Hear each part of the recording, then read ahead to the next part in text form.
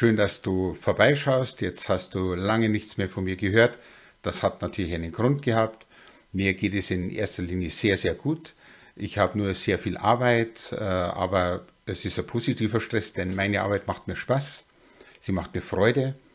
Vielleicht ist es auch ein Punkt, jetzt darüber nachzudenken, ob dir deine Arbeit Spaß macht, ob dir deine Arbeit Freude macht, ob du darin aufgehst, wie ich in meiner Arbeit aufgehe, oder ob es an der Zeit ist, etwas zu verändern diesbezüglich. Ja, wenn es so ist, dann kannst du dich gerne bei mir melden oder auch diesen Kanal abonnieren. Es wird demnächst wieder mehr von mir geben. Ich werde mehr Videos drehen zu den verschiedenen Themen, auch äh, über mein, äh, über meine, wie ich zur Hypnose gekommen bin. Warum habe ich Hypnose äh, gelernt? Warum habe ich das angewendet? Und warum ist das mein Beruf bzw. meine Berufung geworden? Auch da werde ich ein ein äh, Video dazu drehen, aber jetzt will ich nicht mehr ganz so viel darüber sprechen, über das, was ich vorhabe, sondern das, was wir heute machen. Wenn du ähm, vielleicht dir Fragen stellst, wie sich manche stellen, ob es der richtige Partner ist, ob es äh, der ist, der wo dir das gibt, wonach du dich sehnst, ob der Partner dich wirklich mag oder ob es einen bestimmten Grund hat, warum er bei dir ist, vielleicht Bequemlichkeit, vielleicht weil er natürlich äh, Vorzüge hat äh, bei dir, ähm, ob es wirklich wahre Liebe ist, denn wenn's äh, wenn es Bequemlichkeit ist, dann ist ja keine Liebe, ja, sondern dann ist es reiner Egoismus. Ob er vielleicht, ähm, ob der Partner dir auch wichtig ist, ob du noch Liebe für ihn empfindest, da wollen wir eine Meditation machen, wo du ein bisschen in dich reinlauschen kannst, ob du prüfen kannst, ist es der richtige. Oder wenn du den Partner noch nicht gefunden hast, dass du auch den richtigen Partner, den richtigen Mann aussuchst für dich. Ja, das geht natürlich, ob du eine Frau bist oder ein Mann bist, ist vollkommen egal. Es geht heute um Partnerwahl. Also den richtigen Mann für dich zu finden. Ja, ähm, macht er dir Komplimente, auch wenn du schon lange mit ihm zusammen bist oder du suchst jemanden, der dir natürlich auch Komplimente macht, der dir das gibt, wonach du dich sehnst wo alles vielleicht nicht rosarot ist, aber wo du dich wohlfühlst, wo du aufgehst, wo du dich fallen lassen kannst. Ganz wichtig, dass man sich fallen lassen kann. Wo du mit ihm Gemeinsamkeiten hast und vielleicht auch so eine Art Seelenverwandtschaft oder Seelenpartnerschaft findest oder vielleicht auch schon führst. Wenn du dir nicht sicher bist, dann ist es an der Zeit, dass du das prüfst und wenn du auf der Suche bist, dann hilft dir auch diese Meditation, dass du die richtige Wahl triffst, dass du den richtigen findest, dass du für diese Person ähm, die richtigen Gefühle entwickelst. Und natürlich auch den Mut hast, etwas zu tun, den Mut, eine Beziehung einzugehen, äh, eine freie Beziehung oder eine offene Beziehung oder eine enge Beziehung. Das, was dir gut tut, das sollst du dir suchen und das sollst du erkennen. Mit dieser Meditation ist es möglich. Ich habe sie bereits schon besprochen. besprochen. Ähm, für dich sei gespannt. Hör sie dir an, am besten mehrmals. Ich würde empfehlen, immer täglich oder jeden zweiten äh, Tag. Ähm, du wirst viele Vorzüge dabei finden, das heißt, du wirst viele positive Seiten dabei finden, aber vor allem ist es ja wichtig, dass du endlich den richtigen Partner findest oder äh, dir sicher bist, dass es der richtige Partner ist. Was hat mich ähm, dazu gebracht, dass ich diese Meditation schreibe und auch bespreche? Das war eigentlich Martin Werle. Martin Werle ist äh, Coach, ähm, Berater ähm, und äh, da habe ich zufällig ein, ein, Video von ihm gesehen, wo es darum geht, äh, zu schauen oder zu erkennen, ob das der richtige Partner ist, mit dem du zusammen bist. Das Problem ist eigentlich, dass unser Bewusstsein, unsere Glaubenssätze oft da reinfunken und sich manches man schön redet oder natürlich auch das Gegenteil, man ist genervt, man kennt die Vorzüge des anderen nicht mehr, man erkennt sie nicht mehr, dass man eigentlich den richtigen Partner hat, der wozu einem passt, der wo einen das gibt. Ähm, ja, und damit man das erkennt, äh, denn das steckt ja eigentlich in deinem Unterbewusstsein drin, das Gefühl, das wahre Gefühl, äh, damit man das erkennt, ist eine Meditation sehr hilfreich, sehr wirksam, ich würde sogar sagen stark wirksam, damit du endlich den richtigen Partner findest oder den richtigen Partner erkennst, erkennst, dass dein Partner der richtige für dich ist oder vielleicht auch nicht. Wenn es nicht der richtige für dich ist, dann ist es an der Zeit, dass du etwas veränderst. Denn ohne etwas zu tun, gibt es ja keine Veränderungen. Jetzt aber will ich nicht mehr viel darüber sprechen. Du merkst, dass ich eigentlich sehr schnell rede. Äh, eigentlich rede ich äh, wesentlich langsamer. Aber ich habe dieses Video so schnell zwischendrin mal gemacht, Warum die Meditation nicht? Da habe ich mir Zeit genommen, aber dieses Video eben, weil ich sehr viel zu tun habe. Heute muss ich noch Texte schreiben für Kunden. Die Kunden bekommen den Text für sich persönlich und für ihr Thema abgestimmt. Wenn du sowas ähnliches haben willst, auf dein Thema, auf deine Blockaden, dass man die auflöst und so weiter. Es gibt viele, viele Techniken dazu. Mit der Hypnose, mit Mentaltraining. Ähm, dann melde dich bei mir, schreib mir eine E-Mail. Ich blende sie, ich glaube hier, nein, hier ist es oben ein. Ähm, klick drauf, schau mal auf meine Seite. Die Seite heißt mental123.de oder wenn du das mal lernen willst, professionell, gut, richtig, vielleicht auch zu Hause, wir haben Fernkurse, dann schau auf hypnoseschule-deutschland.de. Dort findest du alles Du findest auch äh, Hypnose-CDs, MP3s, die du dir bestellen kannst auf hypnose-deutschland.de. Genau. Jetzt aber geht's los.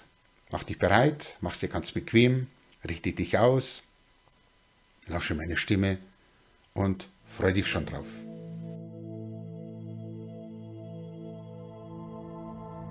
Bist du bereit? Dann suche dir einen Platz, wo du die nächsten 15 Minuten ungestört bist. Diese 15 Minuten sind für dich. Deshalb schalte das Handy aus. Richte alles so ein, dass dich in dieser Zeit keiner stören kann. Auch wenn du Tiere liebst, sollten sie am besten in einem anderen Raum sein. Es ist ganz wichtig für den Erfolg der Meditation. Denn wenn du Erkenntnis erlangst, dann kannst du auch etwas für dich verändern. Und wenn es dir gut geht, weil du dir wichtig bist, profitieren alle, die dir am Herzen liegen. Eigentlich logisch, denkst du nicht auch? Der Raum, wo du jetzt meditierst, sollte angenehm warm sein. Natürlich kannst du dich auch in eine wolligweiche Decke kuscheln. Jetzt legst du dich am besten hin, ins Bett, auf die Couch oder auf eine Isomatte. Du solltest dich dort, wo du liegst, gut entspannen können. Lege dich am besten auf den Rücken. Du kannst dich jetzt gerne mit einer Decke zudecken, damit es schön angenehm warm bleibt. Deine Beine liegen nebeneinander, ganz schlaff. Die rechte Hand liegt gerade neben dem Körper. Jetzt ganz wichtig. Die linke Hand berührt dein Herz. Alles passiert jetzt so, wie es gut für dich ist. Die Augen lasse für eine kurze Weile noch geöffnet. Dabei kannst du etwas fixieren. Einen Punkt, einen Gegenstand. Und versuche dabei so wenig wie möglich zu blinzeln. Gefühlvolle Menschen können sehr schnell eintauchen. Andere brauchen etwas mehr Wiederholungen. Alles geschieht so, wie es richtig für dich ist. Die linke Hand berührt dein Herz. Stelle alles, was ich jetzt zu dir sage, am besten ganz lebhaft vor. Lebhaft vorstellen heißt so vorstellen, wie wenn du es gerade erlebst, wie wenn es im Moment Wirklichkeit ist. Alles, was du fühlen kannst, fühle. Erlebe es mit all deinen Sinnen. So wie du es kannst in diesem Moment, ist es auch richtig für dich. Atme jetzt tief ein. Halte die Luft etwas an. Und wenn es für dich richtig, also der Zeitpunkt für dich gekommen ist, atme langsam aus und schließe dabei deine Augen.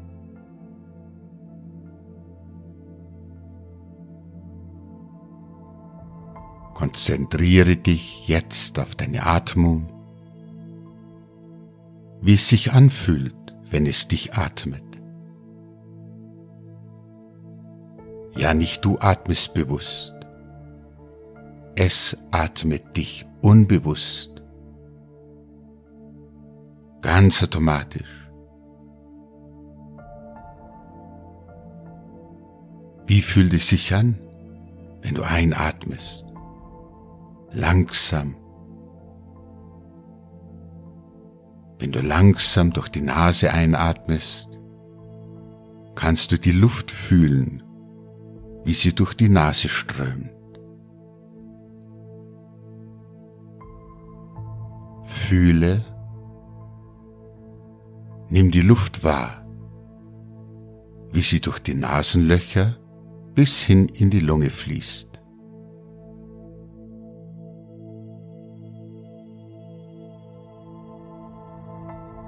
Jedem Atemzug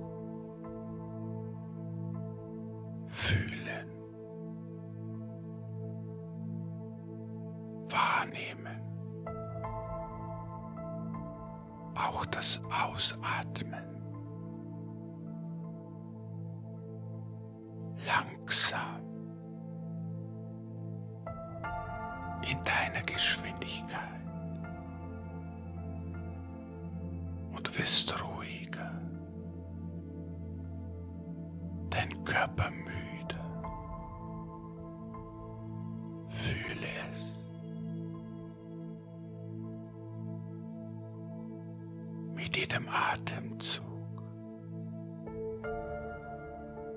Fühlen. Wahrnehmen.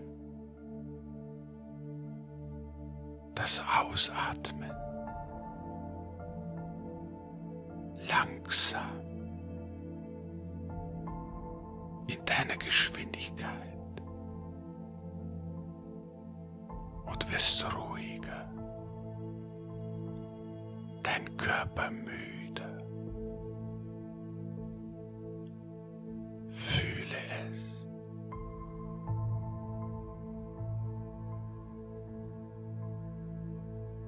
Dein Unterbewusstsein freut sich schon auf diese besondere Meditation und die Erkenntnis, die du dabei erlangst. Es ist ein Fließen, langsam und angenehm.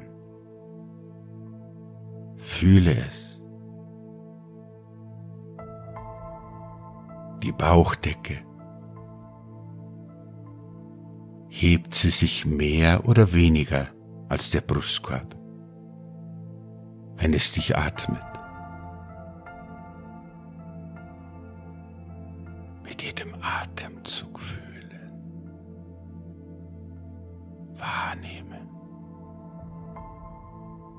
Auch die Bauchdecke und den Brustkorb. Langsam in deiner Geschwindigkeit. Und du wirst ruhiger.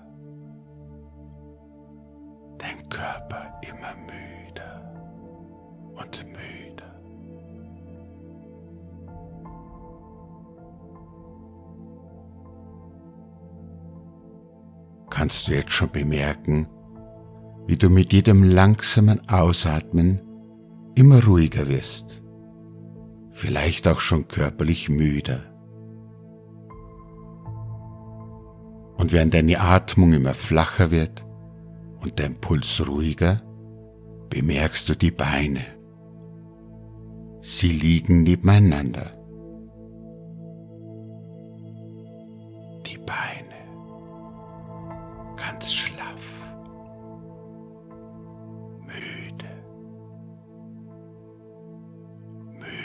Müde, schlaffe Beine. Fühle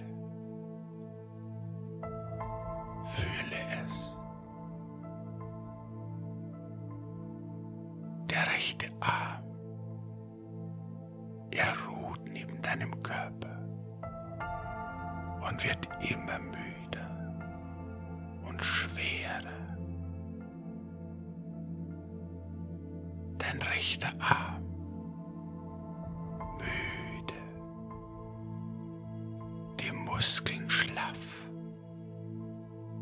weich, schwer wie Blei.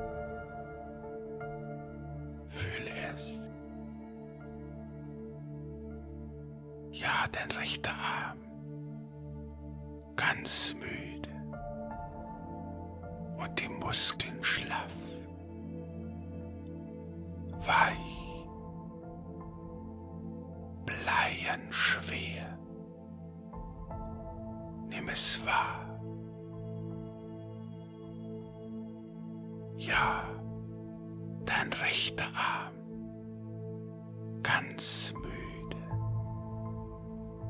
schlaff, schwer wie Blei, weil alle Muskeln ganz schlaff, ganz weich. Fühle jetzt.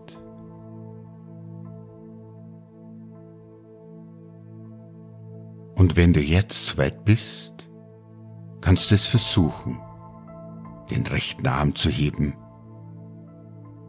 Und wirst bemerken, es wird dir nicht gelingen. Ganz schwer,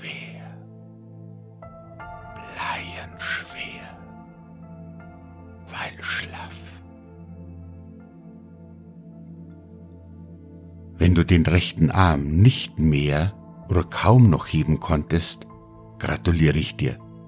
Du hast sehr gut mitgearbeitet. Wenn du ihn noch heben konntest, ist es auch okay. Dann wiederhole diesen Teil so lange, bis er ganz schwer ist und du ihn nicht mehr oder kaum noch heben kannst.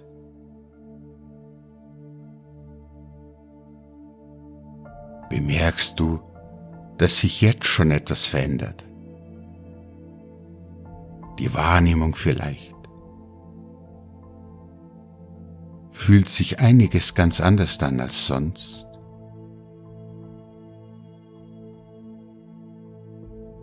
Farben. Sie haben eine Bedeutung, eine Wirkung. Da stimmst du mir sicherlich zu. Farben, allein die Vorstellung zeigt schon Wirkung. Und so stell dir mal die Farbe Rot vor. Was löst diese Farbe Schönes in dir aus?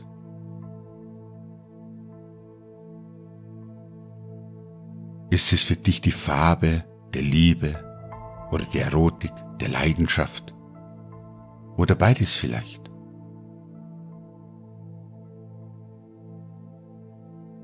Welche Farbe würdest du der wahren Liebe geben, wenn du sie gefunden hast? Stell es dir vor und fühle es, was diese Farbe Wunderschönes in dir auslöst.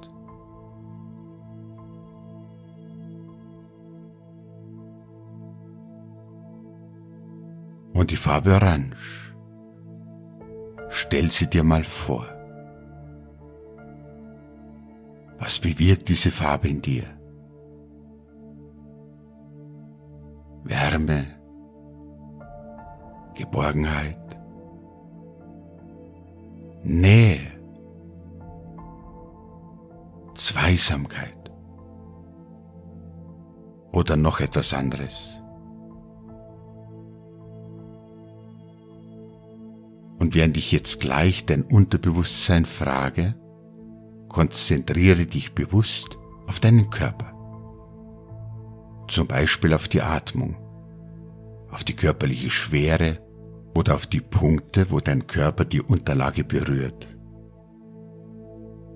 Denn dann ist dein Unterbewusstsein, welches ja alles von dir weiß, dich ganz genau kennt und auch weiß, was dir gut tut, was du wirklich brauchst, unbeeinflusst vom Bewusstsein.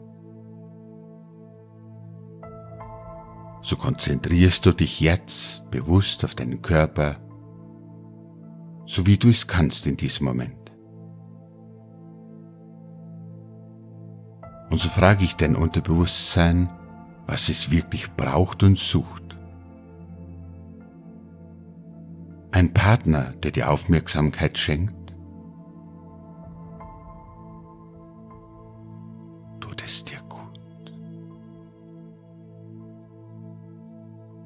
Eine Liebe, die dir Komplimente macht, dir sagt, was du für eine tolle Frau doch bist. Sehnst du dich danach? Ein Mann, der dich so nimmt, wie du bist, würdest du dich leichter und freier fühlen. Eine Liebe, dem du wichtig bist. Wie schön ist das denn? Ein Mann, der dich auffängt, wenn du Unterstützung brauchst wie sicher und beschützt würdest du dich fühlen? Jemand, der sich für dich interessiert, der dir zuhört, wirklich zuhört. Das sein? Jemand, der sich nach dir verzehrt, deine Nähe sucht wie wunderschön kann das sein? Eine Liebe, die deine Seele berührt. Tiefe Verbundenheit.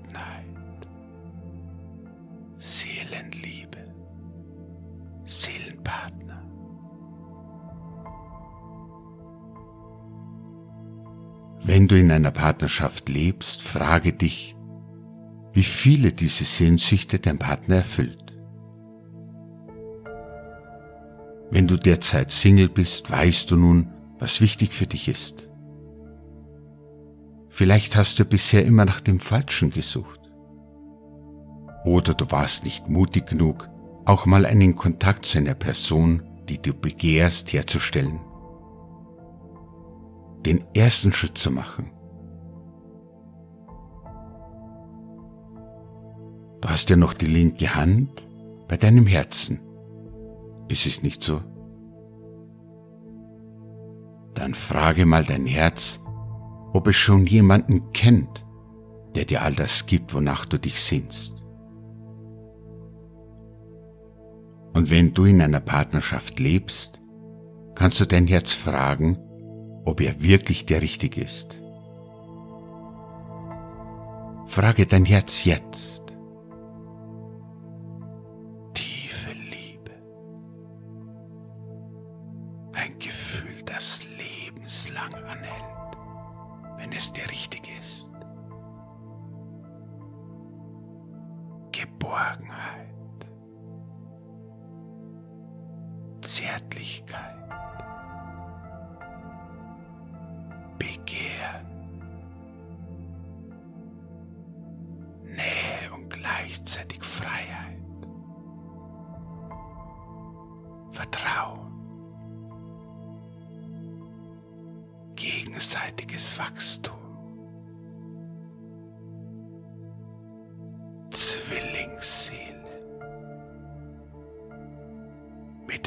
Miteinander das Leben genießen. Vertrautheit, die jeder spürt, ohne darüber reden zu müssen. Tiefe Intimität.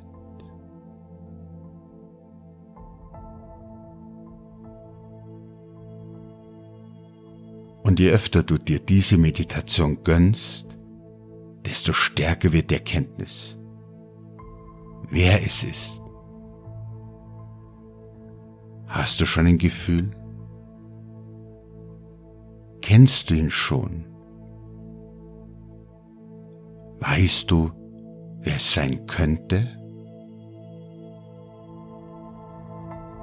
Ihn, der dir das gibt, wonach du dich sehnst, der dich so nimmt, wie du bist, mit dem du das Leben genießen kannst, so wie du es dir wünschst. Du kannst mit dem Herzensmensch Neues entdecken, spielerisch. Du kannst zusammen reisen, viel Schönes erleben, neue Erfahrungen machen, weil du nun offen dafür bist. Alles Vergangene kannst du nun vergangen sein lassen, weil du dich nun öffnest. Alle hinderlichen Glaubenssätze lässt du los und die gesellschaftlichen Erwartungen schiebst du weit beiseite, denn sie sind in jeder Hinsicht für dich und dein Glück hinderlich. Du strahlst ganz genau das aus, was du bist und was du suchst. Du bist selbstbewusst und weißt, dass du es verdient hast. Die Liebe,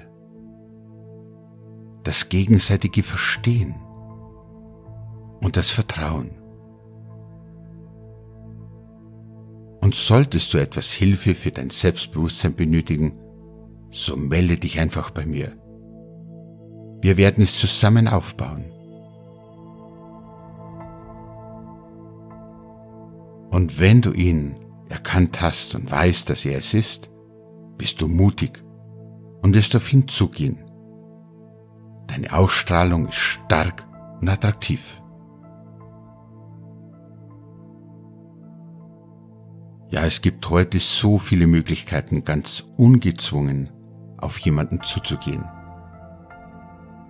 Vielleicht zuerst mal mit einer Nachricht, einem Anruf, einem Hinweis oder fällt dir noch etwas anderes ein? Entfernung ist heute kein Hindernis mehr, wenn man das Glück greifen will.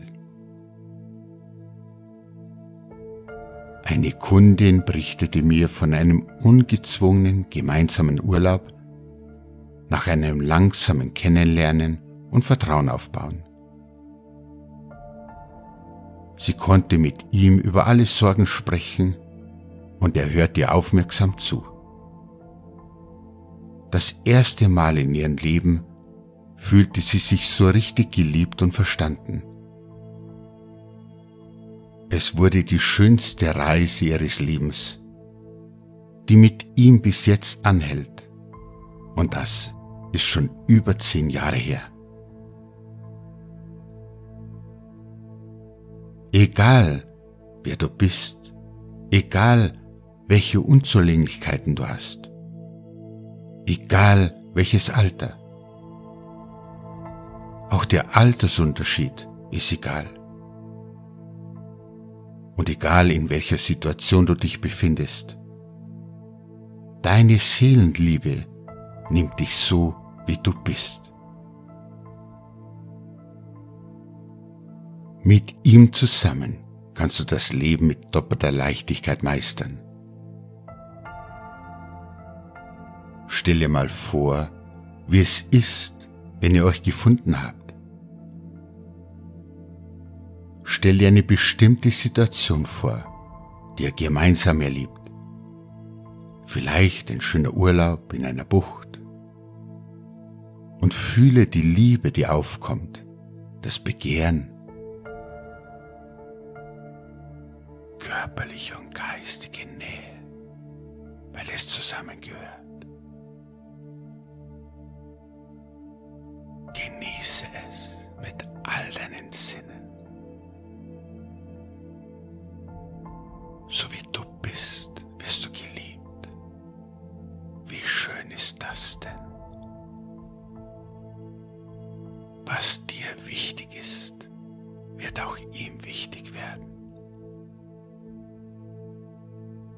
Gemeinsam, zusammen, tragen und getragen werden. Eine Liebe, die von Tag zu Tag immer stärker und stärker wird, weil ihr zusammengehört. Tiefes Vertrauen. Sich nach ihm sehnen, so wie er sich nach dir sehnen wird, weil ihr euch gefunden habt. Er gibt dir all das, wonach du dich sehnst. Und ich frage mich in diesem Moment, wonach sich dein Herz verzehrt.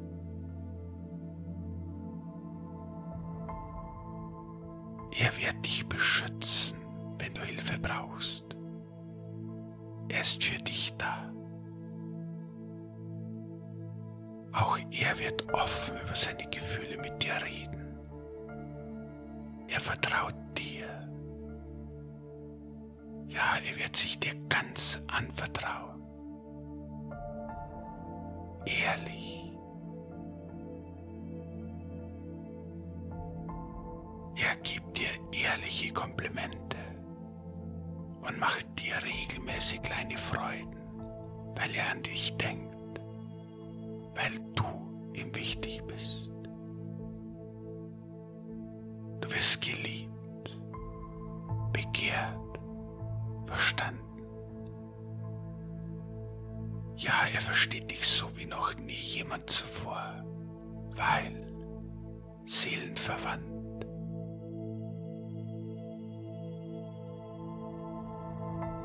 Kennst du all das? Hast du schon mal erlebt? Wenn ja, dann gratuliere ich dir. Wenn nicht, dann wird es an der Zeit, dass du etwas tust.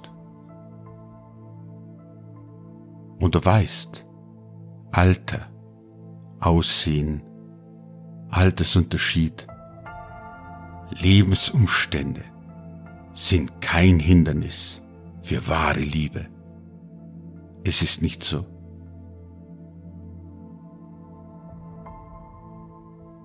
Wenn du Beratung brauchst, Unterstützung mental, gerne unterstütze ich dich dabei, selbstbewusst die Liebe zu finden. Einfach anrufen oder mir eine E-Mail schreiben. Das kann schon der erste Schritt zum Glück sein. Dein Unterbewusstsein hat es nun verstanden und aufgenommen. Es regelt so ziemlich alles in dir. Ja, es hat all meine Worte aufgenommen, ganz tief und fest. Alles beginnt zu wirken. Von Tag zu Tag und mit jeder Wiederholung dieser Meditation mehr und mehr. Und du erinnerst dich, solltest du Hilfe benötigen, Blockaden auflösen müssen, dann bin ich für dich da. Ob bei mir in der Praxis, online es gibt viele Möglichkeiten.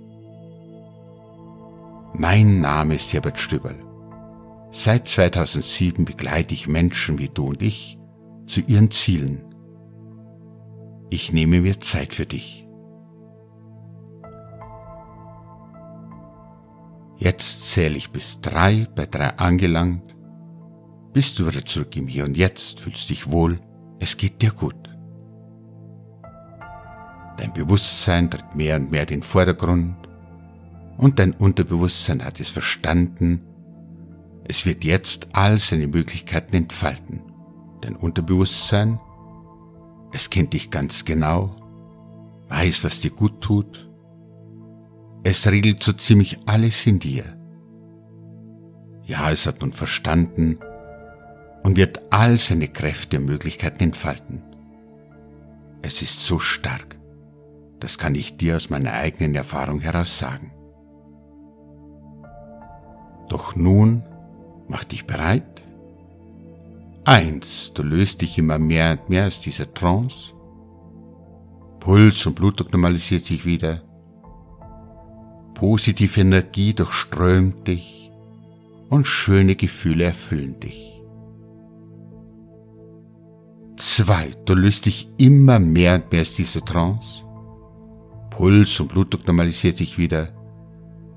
Schöne, wunderschöne Gefühle erfüllen dich und positive Energie. Bewege deine Finger, bewege deine Zehen, recke und strecke dich und mach dich bereit. Drei. Du hast dich aus der Trost gelöst, darfst deine Augen wieder öffnen, dich wohlfühlen, zurück im Hier und Jetzt. Die Selbsthypnose, die Meditation ist hiermit beendet und alles beginnt zu wirken, von Tag zu Tag stärker und stärker. Weil du dir diese Meditation möglichst täglich gönnst. Denn durch Übung wird der Mensch immer besser und besser. Alles wird klarer und klarer. Auch dein Unterbewusstsein lernt durch jede Wiederholung mehr und mehr. Sehr schön. Danke, dass du dir diese Hypnose, diese Selbsthypnose, diese Meditation bis zum Schluss angehört hast. Gerne kannst du mir natürlich einen Daumen hoch, ein Abo und so weiter, du weißt es eh, ähm, geben. Das zeigt mir, dass meine Videos von Interesse sind. Du kannst sie gerne weitergeben, teilen, in deinem Kanal abonnieren und so weiter. Das hilft mir, damit ich noch mehr für euch kostenlos bereitstellen kann und vielleicht auch mal äh, Leute hole, die wo mich dabei unterstützen. Das muss ich natürlich auch finanziell immer rentieren. Mir geht es sehr gut, äh, auch beruflich und privat. Schau, dass es dir auch gut geht. Tu etwas, denn ohne etwas zu tun gibt es ja keine Veränderung.